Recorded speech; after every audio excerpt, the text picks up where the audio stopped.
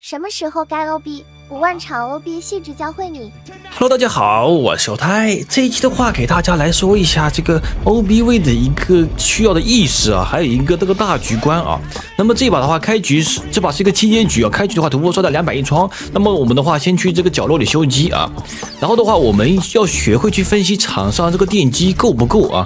呃，然后开局的话，我们看到我们现在的话，已经其实已经在算是逛街了啊。而且这台电机的话还是被封了，然后我们就看一眼，被封被封完之后，然后我们找最近电机，最近电机是佣兵的，那么我们的话要把它给抢了。哎，这边的话心跳我又杀我，结果没有杀我。那么好，那没关系，我们这时候的话就把电机抢了。那么这个时候的话，队友如果说勉勉强强溜的话，那电机肯定是不够。然后我们学会去分析啊，然后看到没有，这台电机的话亮了，那这台的话是佣兵一产机，那么佣兵的话势必电机比较慢。然后这把的话，而且还什么囚徒，呃。就是说开局抓囚徒，然后带到木屋，然后木屋的话被干扰，那么这个时候的话，屠夫去杀魔术师，也就是说所有人电机都被干扰，那么电机它是不可能快的，然后它六的节奏是一个勉勉强强节奏，那么这个时候如果说我们作为是个 OB 位啊，那么我这把的话就是用非常明显的一个用实战家来跟大家说啊，不是说不是说这个一定要非常强力的 OB 位那才叫 OB，咱们慈善家也是可以打的是非常非常好，但这个时候的话我们选择修机，我们直接就是去过去 OB，因为这一把要想赢的话啊，那么就必须要拖出很多的时间，然后看到没有？也就是说，我们现在场上的话，就才亮了一台电机，加上这两台半台，连三台电电机都不够啊。然后这边的话有夹着，那么直接直接吃，或者说你拆了也可以，因为吃的时间吃的时候我们是不会被扣血。那么就看这个队友怎么救，救完之后我们要留给他很大的一个溜空间。那么慈善家怎么去 OB 啊？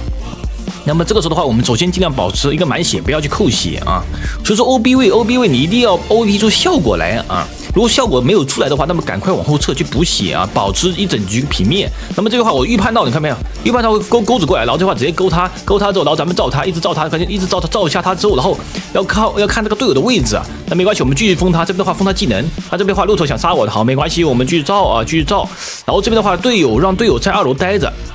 那么就需要队友的配合，队友在二楼等着，千万不要超出出去，也千万不要走。那么这边的话，给队友爆点，那爆点爆这个鹿头往外面走，让鹿头这个让让这个魔术师从这个中间二楼跳下来。所以说这波队友的配合要非常厉害啊，一定要打配合。那我们的话就直接就是一个火力压制啊。那么这句话放手电筒，哎，这放不下来的没关系，赶赶紧找找位置放，放下之后立马照，一个是封他技能，另外一个是拦他的走位，第三个是能把他照瞎，看到没有？一举三得啊！这这样拖完全就拖时间，然后继续照他。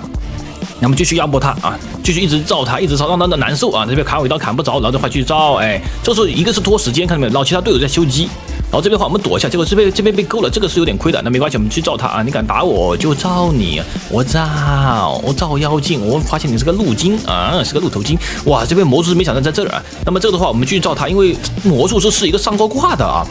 魔术师是一个上高挂，然后我们的话去代替他死亡是比较好的，但是这边的话，如果说代替他死亡的话，就会有个问题，就是啊、这个等下救人是有点难度，但是啊。虽然说救人难度，但是我们这个这波的话要压满救，因为囚徒的话离得我们特别的远，哎，但是这把的话电机就我们上一只时候电机就已经够了，已经压好了八十电机了，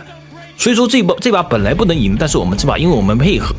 还有我们 OB 去给这个拖时间啊。然后，正如我们比赛中所见，我们比赛中经常能看到啊，这个很多这个什么祭司啊都过来打洞啊，就是利用这些道具啊来帮队友这个牵制辅助时间啊。但是自己平常玩的话，我建议大家就是自己学会去分析场上电机够不够，不要去盲目去 OB。如果说电机够的话，不要盲目去 OB。OB 的话，最好不要扣血啊，一定要打出呃要效果来，不然的话，很多时候总是被坑的。